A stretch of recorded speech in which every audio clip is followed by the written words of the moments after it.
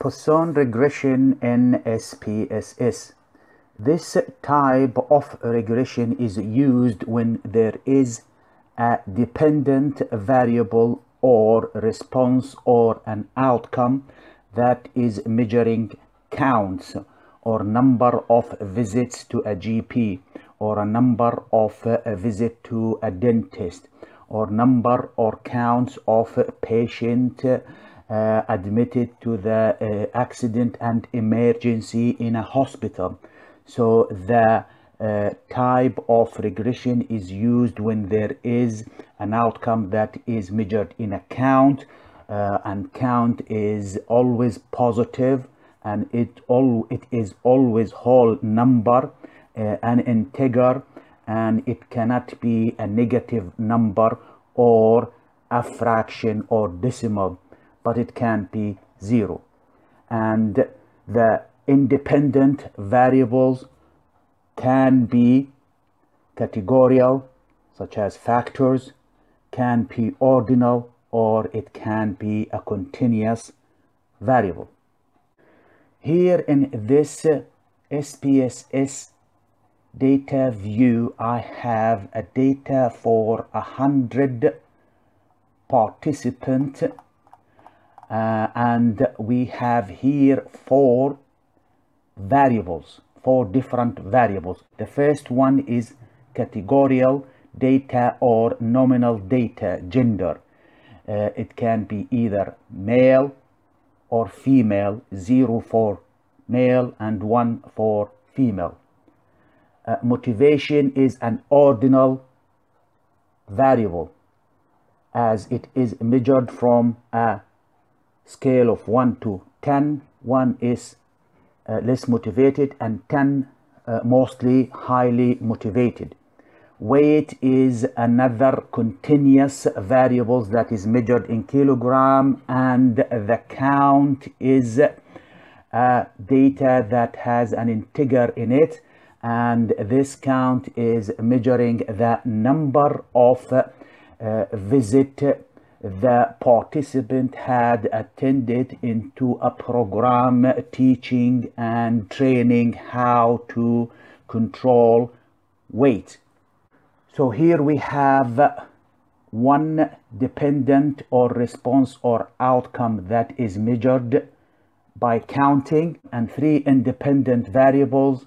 One is uh, nominal, the other one is ordinal, and the third one is continuous to determine whether these variable independent variable can predict the number of visit a participant can um, attend the program or the training session then Poisson regression will be used as here the dependent variable is a count measuring the number of an event that took place or happened. Before per performing Poisson regression, we need to check whether the mean and the variance are equal for the dependent variable, which is the count variable. And the way to do that is to click on Analyze, Descriptive, Statistic, then Descriptive, move the count to the variable, in the options take on the mean and take in the standard deviation and then take on the variance. So we need to uh, may uh, take on the mean and variance determine the value for these and to find out whether they are uh, similar or not.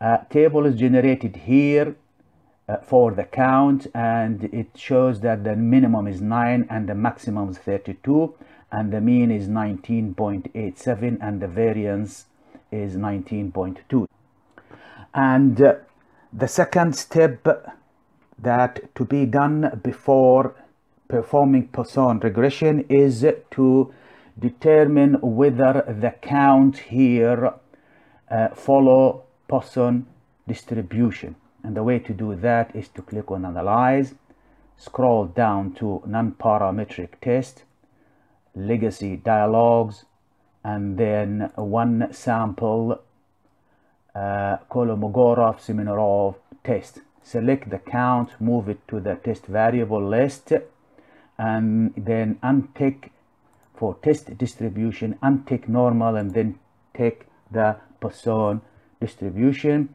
And the mean we've already can determined the mean here to be 19.8.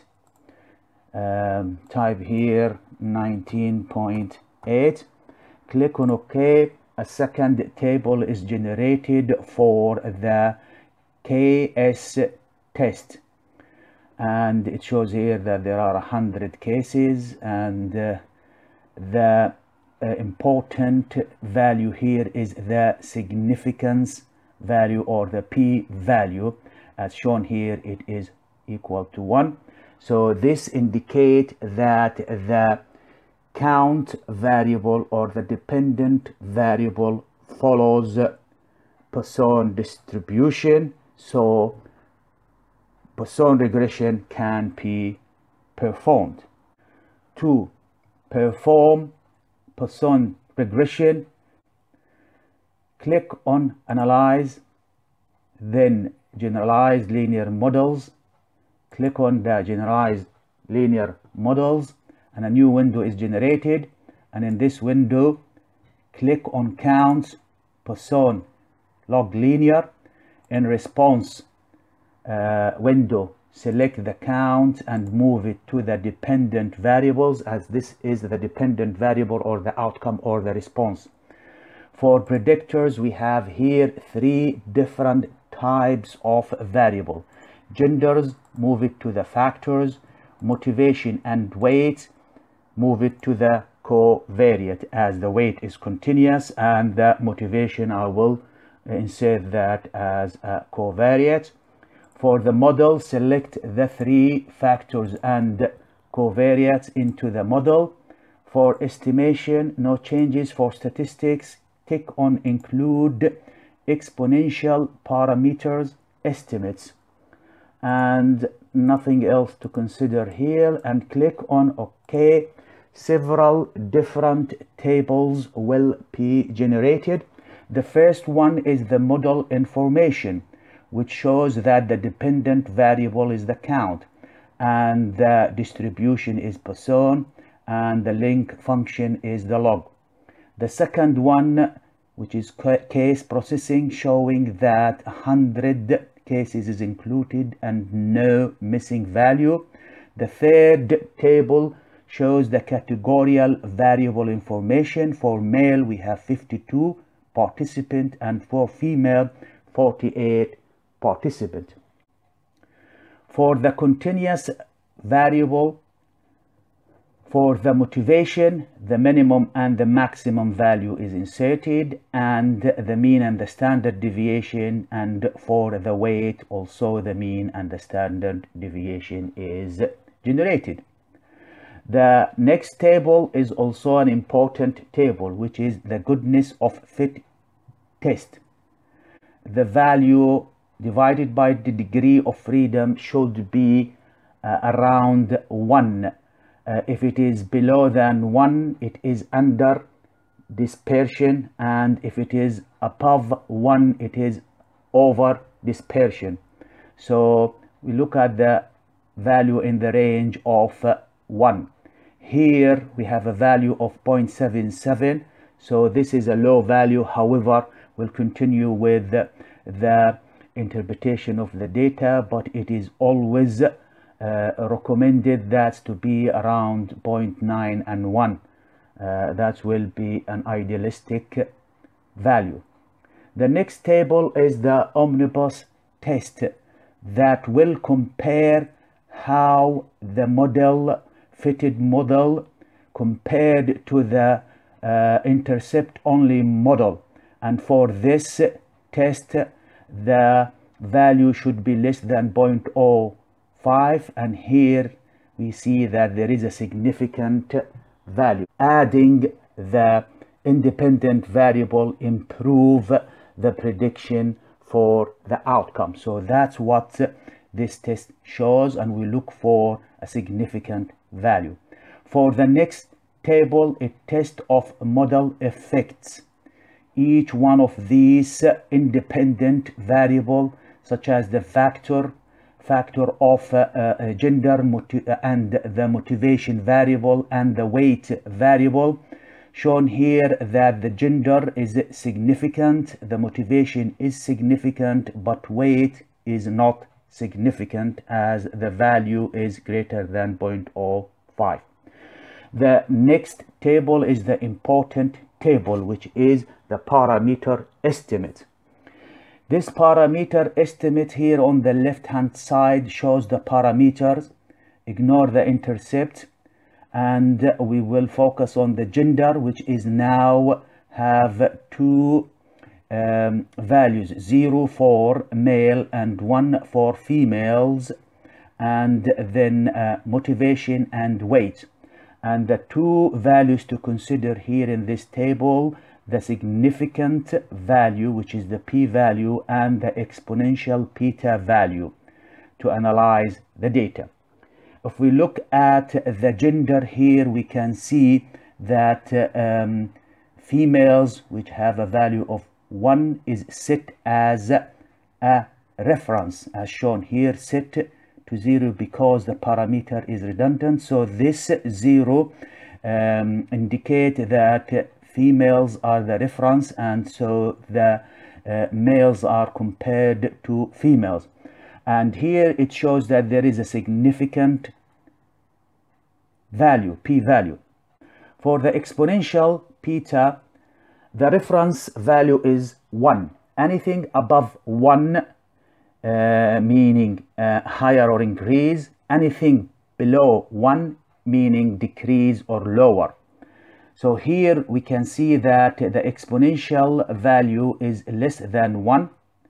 Uh, so we need to subtract uh, this value from 1 and that will generate a 0.09 uh, value and multiply that by 100 to make it as a percentage. So 9 percent uh, decrease. So again we can see here there is a minus sign. So there is a 9% decrease in the attendance to the uh, training session as the value here in minus uh, in males compared to females. So this uh, value shows that there is a significant value and there is less males attending the training sessions than females and there is 9% less males attend the session. For the motivation, it is significant here as we can see the value and the exponential beta is 1.055. So it's greater than 1, so subtract that from 1 and multiply that by a percentage, we end up having 5.5%. So that's mean for every unit of increase in the motivation, there is 5.5% increase in the number of uh, attendance or counts to the training session. For the weights, there is no significant value here so we cannot interpret this result. Overall the result shows that 9% less males attend the training sessions and attendance to the training session enhanced 5.5% by uh, increased motivation.